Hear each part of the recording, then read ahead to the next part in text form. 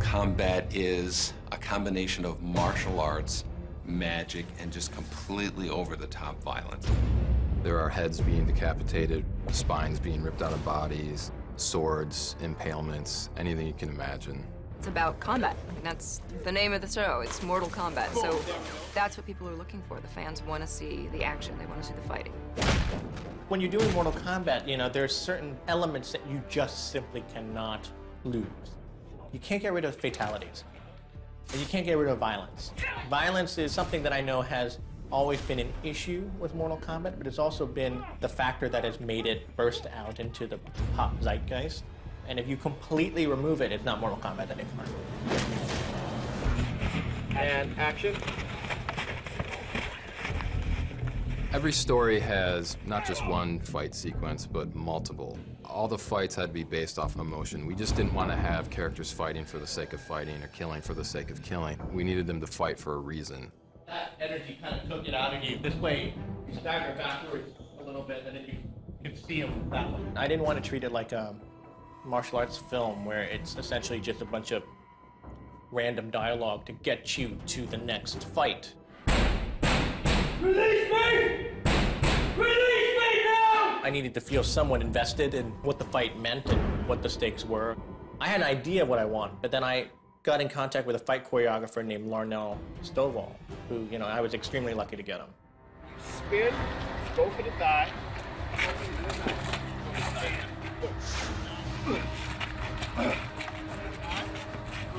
Now you're right there. Pow. Intersection two. main thing that impressed me was he sat down with a bunch of clips of some martial arts films that not too many people in America would know about. And to say he put this reel together and showed me this is the style, this is the look that he wants, I was like, hey, this guy knows what he's talking about. I had all these scenes picked out. Said, I like certain things about this. Now, can you take all those bits and pieces but make it our own?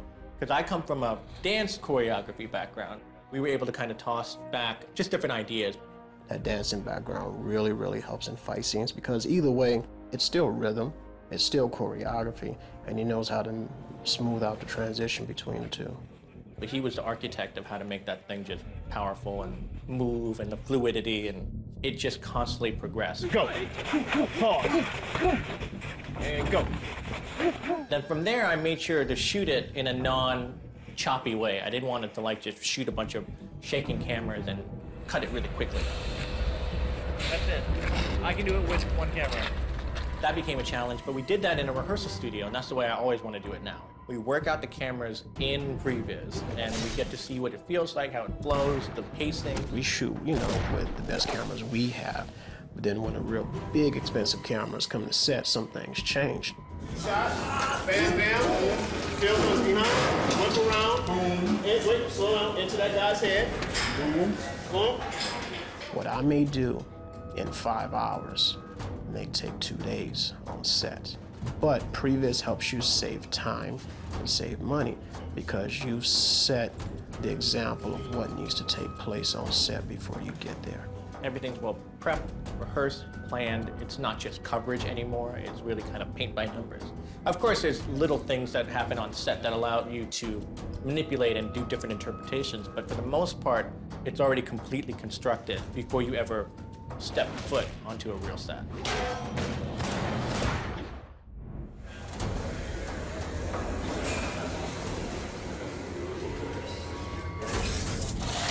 Right, here we go. Rehearsal.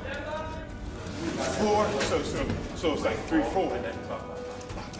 The role that violence has in my episode is, you know, diplomacy and logic just kind of fall short, so you gotta whoop some ass. There may be a way of fighting that's, I would say, is more efficient, that this guy's, you know, like his personality, he's straight to the point. He's seen as this SWAT type, military type guy, but when you cast a guy like Michael Jai, now you bring in a unique added element of a great martial artist. So if I'm going here, boom, right hand. There, there was your shot. Okay, just extend it out. Yep, your shot was in between your bones. I have to impart my character ethos to Larnell, and we work together. and find a fighting style that fits. Boom, body shot now. That's all I need, and then uppercut, spin away from me. It's hard to find the right people to fight him a lot of times. That's usually a challenge from working with him. Sometimes he has to pull back on his speed so he doesn't make this guy look too bad. But in the world of Mortal Kombat, it balances because guys either have powers, guys fight dirty. It kind of levels the playing field, which is cool for his character. So he doesn't look so dominant at all times because you do want your hero to have a challenge and find a way to overcome that challenge. Don't change anything except roll. Roll the other way. That's it. Now we have such a shorthand on working with each other because he can say, I, I want to start like this, this, and that, and then we'll figure out the middle because he just knows how we work together. You know, it's kind of like you know musicians getting together and jamming. Rib. Start covering up. Here we go. Go forward. Great. Put blood on his face, please.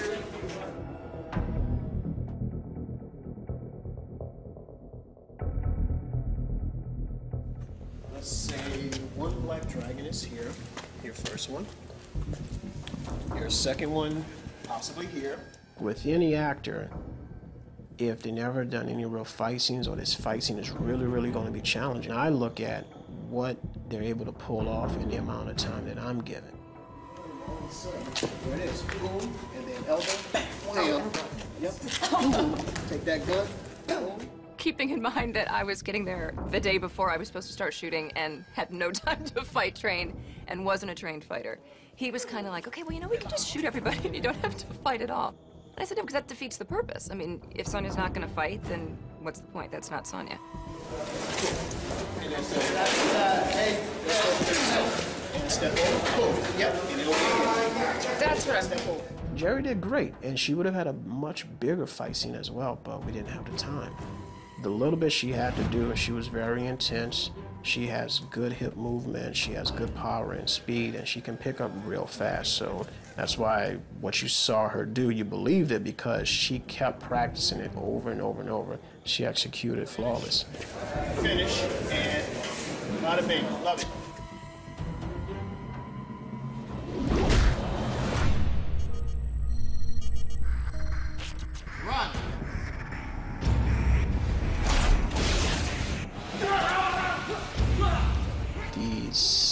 Cyrax episode. That was probably the biggest episode that required motion capture. Right? Okay. Let him break it. Boom. He goes to you now. Boom.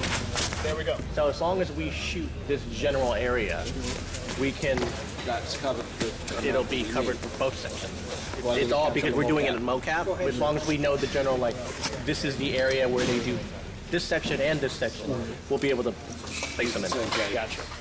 We only needed to shoot small pieces of the fight, you know, major pieces that had to be done there on the actual location. From there, there was a separate day where I took the same guys and we shot it in front, just green screen.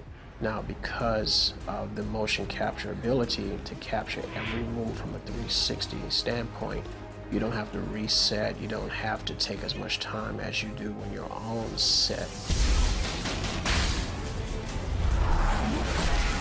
the guys were really able to get into it and also pull off each move safely and comfortably. That's why every trick that you saw was those guys, not enhanced. Because when you hire the right people, then you get it done each time correctly the first time. Project Hydro Fatality. Excellent.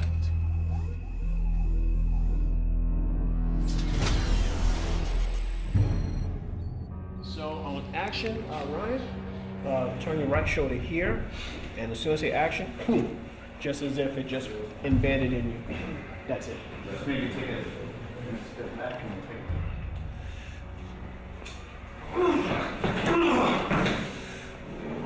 And boom. When they tased him, it basically woke up some of his inner power that was dormant because of him constantly being sedated. Every now and then, just like maybe two or three, you're shaking, and then one like jolt. Okay. Like it's start, you're starting to get recharged. Okay. Cool. So that's good. But I took it that he is literally human right now. and even a small percentage of him receiving some of his godlike powers again would obviously make any human look weak. So when the guys rushed in the room, his hits were stronger, the guys went flying back. When he kicks that guy, he goes into a pillar, the pillar gets damaged, so you see the result of his power, and that's where the special effects department comes in and helps me out as well. My wire guys rehearse it with a stunt guy just to test the line, how smoothly he gets jerked back. Is it too vicious? Is it not vicious enough? You know, do you want more speed? Do you want less speed? All right, here we go. Ready. And three, two, one. Back from behind. And go.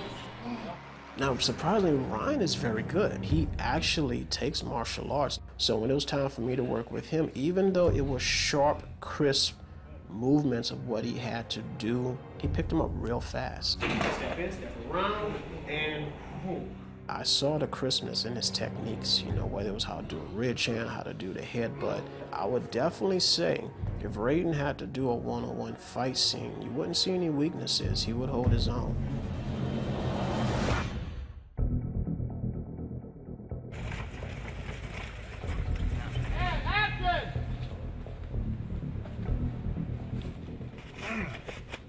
The fight sequences, what people don't realize is that that's real snow. And even with putting, you know, cleats or, you know, grates on their shoes, it wasn't enough for our fighters to be doing all the flips that they're doing. It's one thing to practice it in the gym, and it's another thing to get in this outfit. And either the snow's sinking your weight down, or it's solid and making you slide. I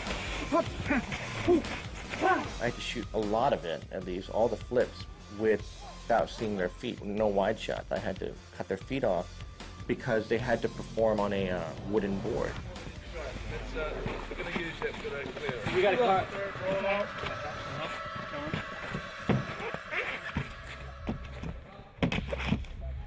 That was really difficult, but they pulled it off and they wanted to keep going. They were very professional, and I don't know how they pulled it off. They, I mean, they must have been so sore the next day. Set. Set. Kevin played Scorpion from a traditional standpoint. So when it was time for him to fight, we couldn't have him doing too many tricks because that seemingly wouldn't be in a samurai's type of code, even though he's a ninja as well.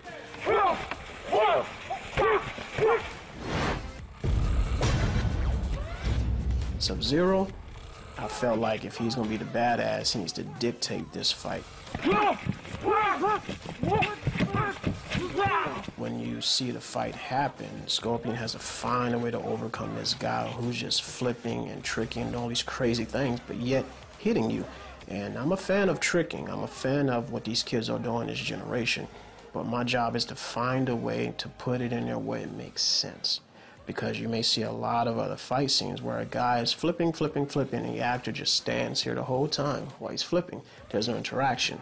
You know, if you're gonna make a guy flip, sweep at his legs. Make him have to twist in the air and get out the way because you could have took his legs out. But in the middle of it, he finds a way to kick you and counter what you're doing. So you have to find a way or play a chess game with his tricks to make him come back down to your world.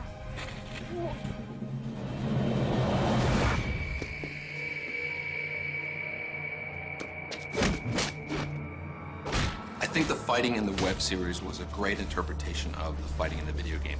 They identify things that are signature to the character, but then they kind of present it in a more real world scenario, something that's a little bit more credible in the format that it's being presented.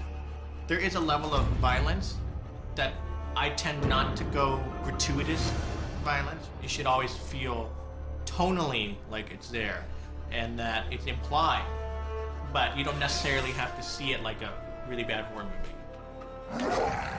Each episode, I was nervous every time it came on because I never saw the final product until I saw it. You know, so I'm sitting there thinking about what we shot, what I choreographed, what I rehearsed, compared to what I'm seeing. It blew me away. Come on!